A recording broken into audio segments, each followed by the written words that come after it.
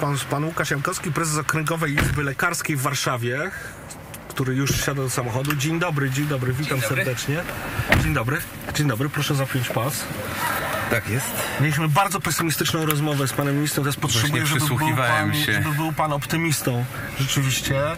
E, więc proszę mi powiedzieć, że z, przynajmniej z epidemią mamy już z głowy i chociaż oczywiście dalej przestrzegamy wszystkich ograniczeń, chociaż mam wrażenie, że już nie przestrzegamy żadnych ograniczeń, ale że ta czwarta fala już nie będzie taka, jak yy, pesymiści sądzą, czyli ja. Ale mam przykład. trudne zadanie, co? Teraz e, proszę, chodzi o to, optymistycznie o ochronie zdrowia w tym momencie powiedzieć, to jest rzeczywiście, rzeczywiście ciężkie. My się czujemy jak na takiej tratwie na morzu, to znaczy te fale kolejne, ale między tymi falami covidowymi jeszcze są, i i to chyba nie jest optymistyczne, jeszcze są fale niecovidowe, czyli te fale e, pacjentów, którzy nie otrzymali pomocy w trakcie fali koronawirusa, więc w zasadzie my na tej tratwie O, ale wiosłujemy, na tych falach e, ta ochrona zdrowia jako ta tratwa stara się jakoś przetrwać. I kiedy prosimy o pomoc rządzących, e, to słyszymy, jakoś daliście sobie radę, jakoś tam na tej tratwie przepłynęliście, więc teraz płyńcie dalej. Bo to jest zawsze problem ludzi, to zdradzę panu w korporacjach jest zawsze taki problem. Jak szefowie dają panu za mało narzędzi do zrobienia czegoś, a pan mimo to to zrobi i potem przychodzi do nich i mówi, no dobrze, ale następnym razem dajcie mi więcej narzędzi, to oni wtedy mówią, no ale daliście radę, zrobiliście to z Jakoś- jakoś to było, Jakoś to tak. poszło, więc dlaczego ma być lepiej? To jest wina ochrony zdrowia. Przepraszam, bo już mam taki wisielczy humor trochę. Wina ochrony zdrowia, że daliście sobie radę w epidemii, to znaczy, że niczego więcej nie potrzebujecie. Tak, dokładnie, tylko nikt nie widzi, że to była tratwa, że wiosłowano ponad siły, że w zasadzie te fale zalewały tą tratwę wielokrotnie.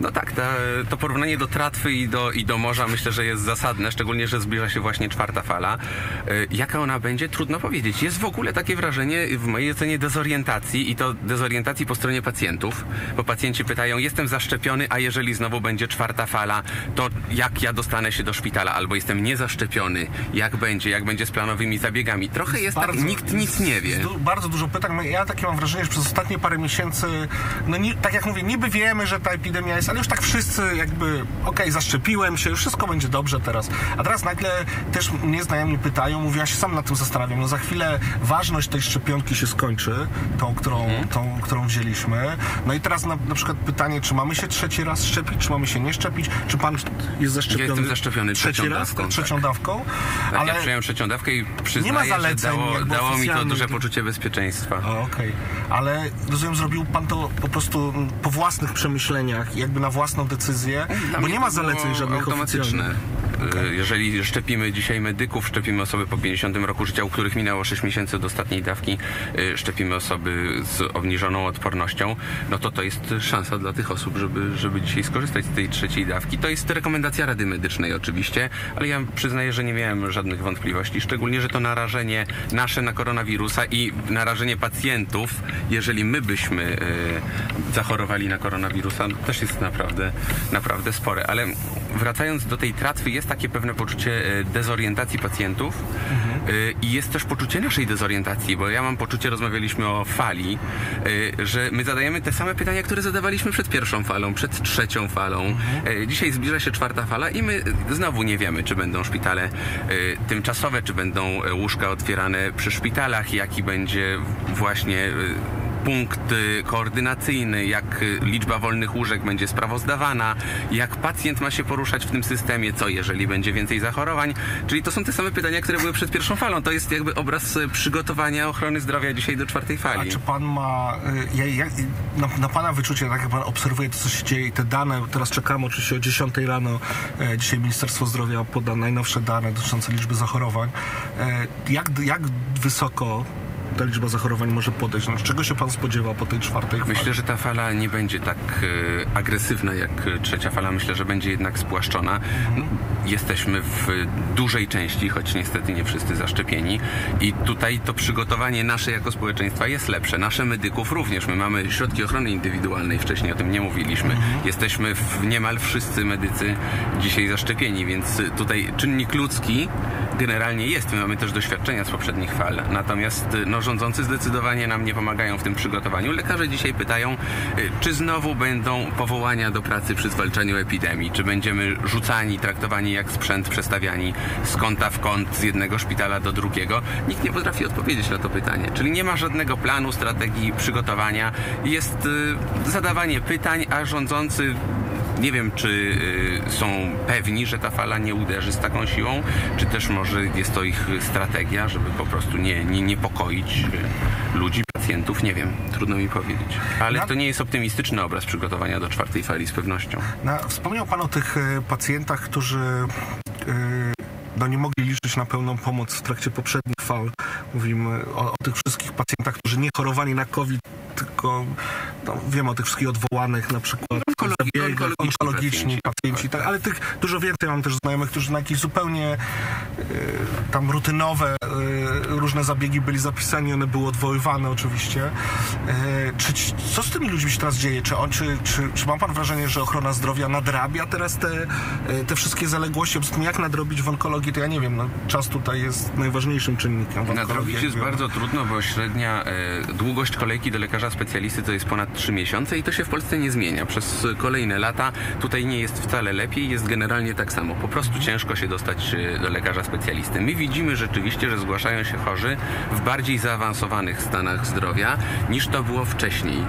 Czyli ci chorzy nie dostali opieki, ich choroba była zaawansowana, to dla nich jest tragedia zdrowotna, bo my nie jesteśmy w stanie ich leczyć, co oczywiste, tak jak na wczesnym etapie, ale dla systemu to również jest y, szalenie obciążające, bo ci chorzy wymagają już bardziej zaawansowanych procedur, dłuższych hospitalizacji, większych y, nakładów y, sił i środków niż wtedy, gdyby byli na wczesnym etapie. W mojej ocenie należałoby popatrzeć na profilaktykę i już profilaktyka dzisiaj leży w tym okresie spokojniejszym między falami, a raczej na tej fali y, nie-covidowej, pacjenci nadal mają opory przed zgłaszaniem się na badania profilaktyczne, przed zgłaszaniem się generalnie do lekarza. Pokutuje takie przekonanie, że trwa epidemia, więc jak zgłoszę się do lekarza, to może się zakażę COVID-em, a może nie powinienem jeszcze tego robić, może poczekajmy jeszcze chwilę. I tutaj też odsetek pacjentów, którzy zgłaszają się na czyste badania przesiewowe, profilaktyczne, również spadł i to będzie miało swoje konsekwencje w przyszłości. Czyli czeka nas czwarta fala, a potem niestety kolejna fala nie-covidowa, a wszystko to na tej tratwie, na której, proszę mi wierzyć, naprawdę buja i y, nie jest nam do śmiechu. Także tutaj nie, pom- nie pomogę i nie, po- nie poprawię tej sytuacji. Też, sie, siedliśmy do rozmów z Ministerstwem Zdrowia, bo przecież toczy się protest medyków. On toczy się bardzo długo i pro, już po 30 dni trwa Białe Miasteczko. Proszę zobaczyć, jak reaguje Ministerstwo Zdrowia. Pan minister nie spotkał się z protestującymi, wysłał y, pana ministra Brombera od y, dialogu. Te rozmowy się rzeczywiście toczyły. Nie, do, nie doszło do kompromisu, a więc y, pan minister Niedzielski ogłosił, a to w takim razie ja z wami już nie rozmawiam, ja pójdę na zespół trójstronny i na zespole trójstronnym w piątek porozumienie zawrę. Czyli to taki poziom troszeczkę, jakbyśmy, jakby pan minister powiedział nam, przynajmniej my tak się czujemy, no z wami już nie będę rozmawiał, mam innych kolegów, z tymi kolegami idę się bawić. Tylko nie mówimy o zabawie, mówimy o reformie ochrony zdrowia, nie mówimy o e, kolegach, tylko o ministrze, który rozmawia z przedstawicielami wielu zawodów medycznych. Dla mnie to jest niepojęte, gdzie, dokąd zeszliśmy y, w tym dialogu, a może od początku w pozorowaniu dialogu ze strony rządzących, bo tutaj pomysłów na długofalową strategię nie ma. A słyszał pan y, ministra Czarnka, który powiedział, że nie potrzebujemy pieniędzy z Unii Europejskiej, ponieważ mamy mnóstwo pieniędzy w budżecie. I do mnie, ja mam w rodzinie y, medyka, który do mnie napisał, że już jest spokojny o swoją przyszłość, bo już teraz wie, że mamy mnóstwo pieniędzy w budżecie i na wszystko, nawet pieniędzy z Unii Europejskiej nie potrzebujemy. No taki tak dużo cóż mamy pozostało pieniędzy. teraz y, nam wszystkim, jak nie gorzka ironia i taki trochę y, śmiech przez Tak, ja mam dzisiaj dzień naprawdę tak ironizowania przez łzy potwornego, ale y, ja mam takie w, też y, y, wrażenie, że y, jesteśmy trakt, wszyscy jesteśmy traktowani trochę jak takie małe dzieci, bo już taki, nie jak nastolatkowie już nawet, tylko jak małe dzieci.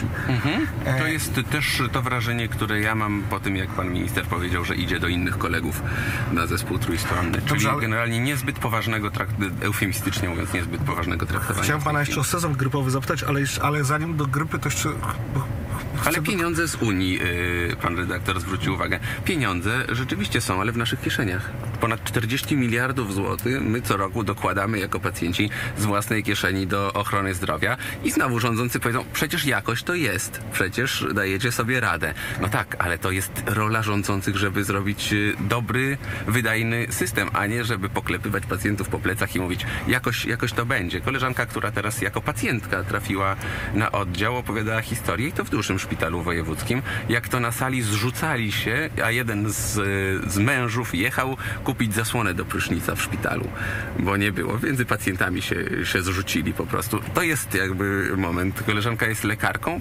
Powiedziała, że jej to w ogóle nie dziwi, ale prosiła, żebym to powiedział. Brakuje podstawowych rzeczy.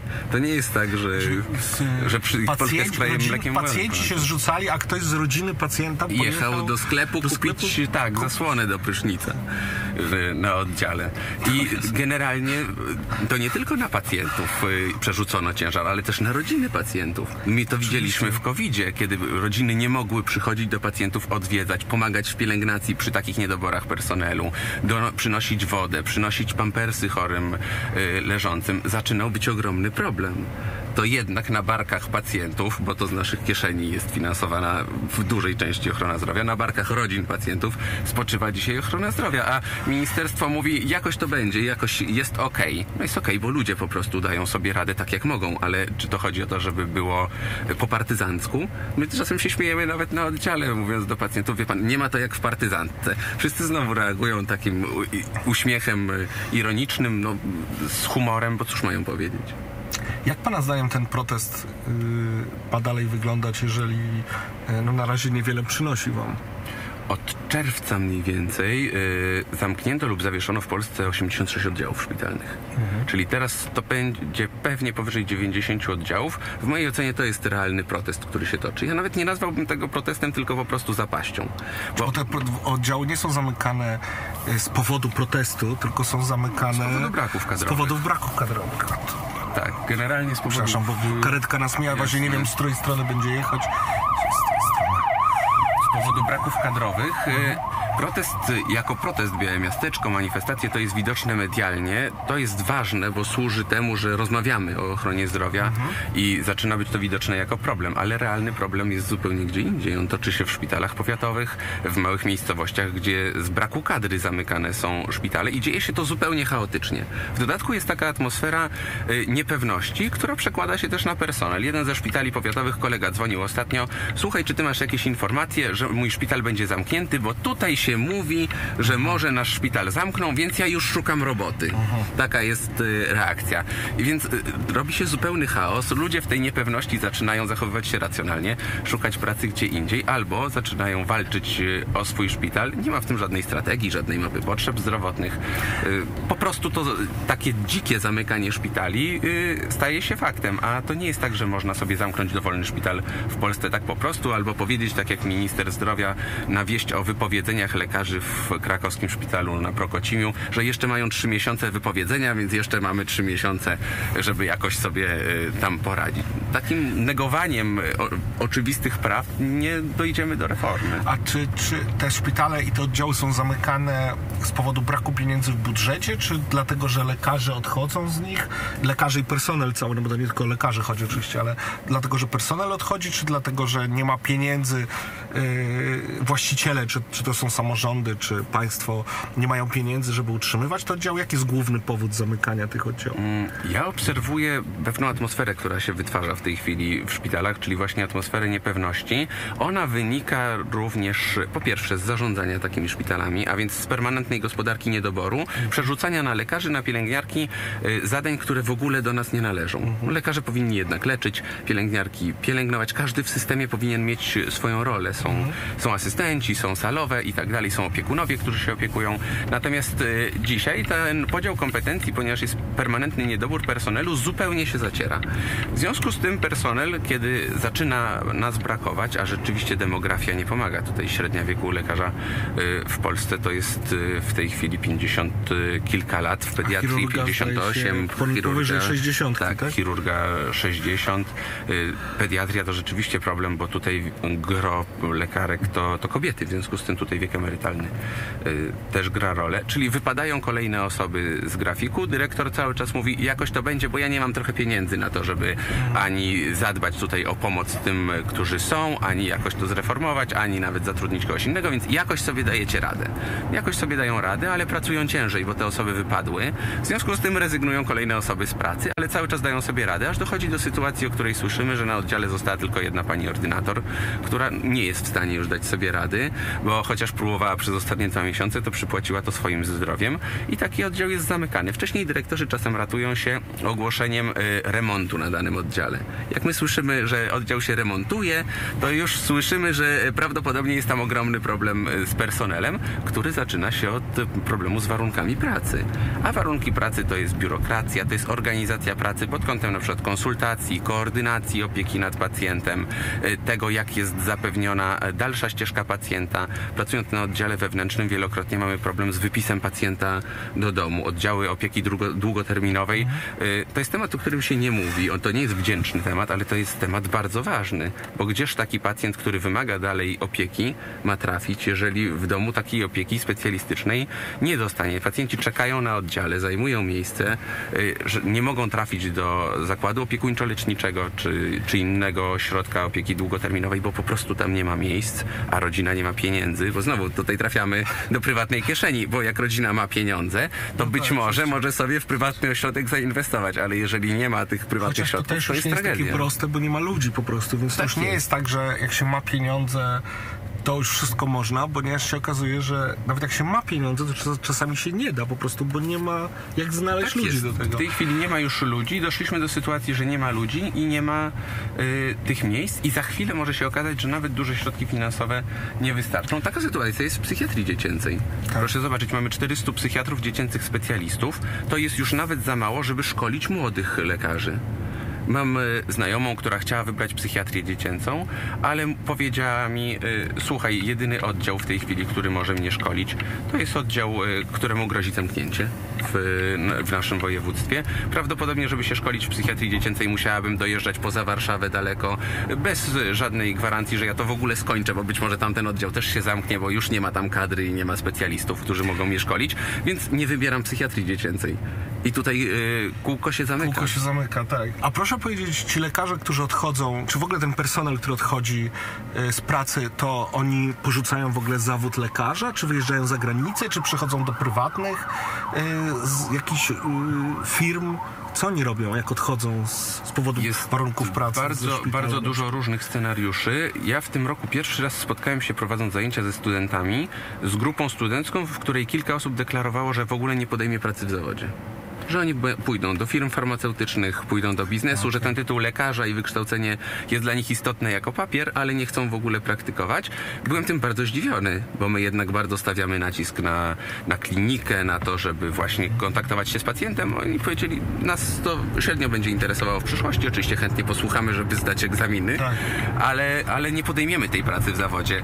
To widzieliśmy wcześniej u pielęgniarek. Tam zdarzało się, że połowa rocznika w ogóle nie podejmowała pracy, a pielęgniarki szły do, do innej roboty i tutaj niestety z lekarzami zaczyna być podobnie.